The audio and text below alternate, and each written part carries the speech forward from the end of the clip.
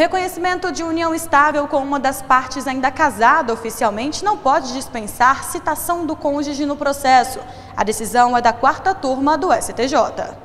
A união estável tem se tornado cada vez mais comum. E quantas vezes já ouvimos por aí que esse tipo de relação é igual ao casamento? Mas será que é isso mesmo? Este advogado explica que a união estável e o casamento possuem diferenças significativas, principalmente quando se fala em separação e divisão de bens.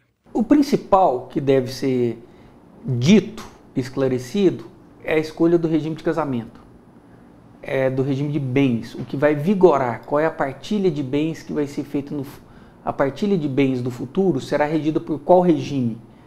Na união estável você não é definida, porque não é um ato solene.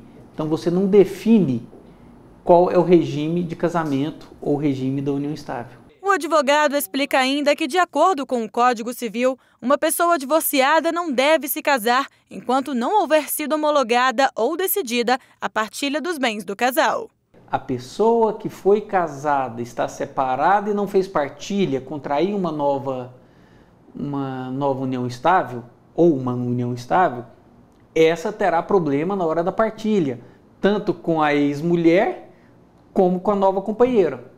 Em um caso que chegou ao STJ, uma mulher pedia o reconhecimento da união estável com divisão de patrimônio com um homem em período em que ele ainda estava oficialmente casado. O homem admitiu a convivência com a autora, mas afirmou se tratar de relação de adultério porque continuava casado com a ex-esposa. O Tribunal de Justiça do Rio Grande do Norte considerou possível a união estável, mesmo persistindo o casamento, e determinou a partilha de bens adquiridos, inclusive do imóvel registrado em nome da ex-esposa. O homem então entrou com recurso no STJ, alegando que a partilha de bens poderia prejudicar a ex-mulher da qual se divorciou dois anos após o fim do relacionamento com a autora da ação.